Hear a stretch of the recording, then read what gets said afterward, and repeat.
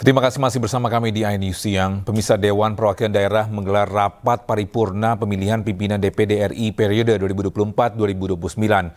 Rapat tersebut sempat diwarnai interupsi. Sementara itu, Sultan B. Najamuddin terpilih sebagai Ketua Dewan Perwakilan Daerah periode 2024-2029. Kota jangan di podium pimpinan. Etika persidangan tolong dijaga, tolong dijaga etika persidangan. Kepala boleh panas, tapi hati harus tetap dingin. Tinggal dibicarakan, dibicarakan aja baik-baik.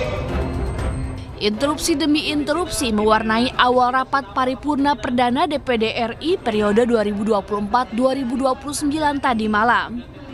Rapat dipimpin oleh Ismet Abdullah, anggota DPD tertua dan Larasati, anggota DPD termuda. Mohon supaya kembali ke tempat masing-masing. Bapak. Jangan macam-macam. Jangan macam-macam, sabar.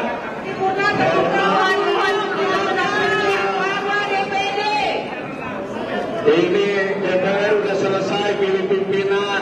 Masa kita di DPD seperti ini pimpinan? Malu, pimpinan. Hujan interupsi terjadi saat rapat membahas syarat pemilihan pimpinan DPD RI. Sebelumnya DPD telah sepakat pemilihan pimpinan DPD dalam sistem paket. Namun saat rapat terjadi justru banyak anggota DPD RI yang melakukan interupsi.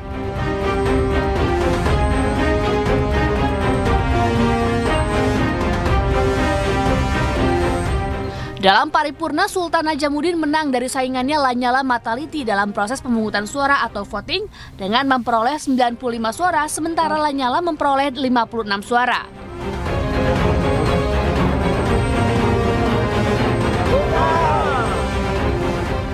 Dengan perolehan suara, Sultan Najamuddin ditetapkan sebagai Ketua DPD RI, kemudian GKR Hemas sebagai Wakil Ketua 1, Yoris Rawayai sebagai Ketua 2, dan Tamsil Lindrung sebagai Wakil Ketua 3.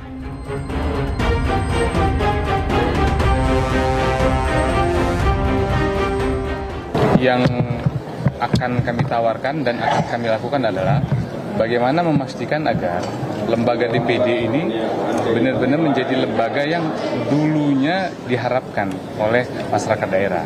Lembaga perwakilan yang kuat, lembaga perwakilan masyarakat daerah yang memang pada akhirnya bisa menjawab permasalahan-permasalahan daerah.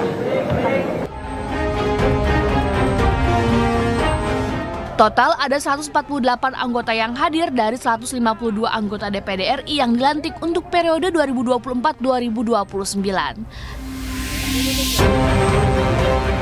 Tim Liputan iNews melaporkan.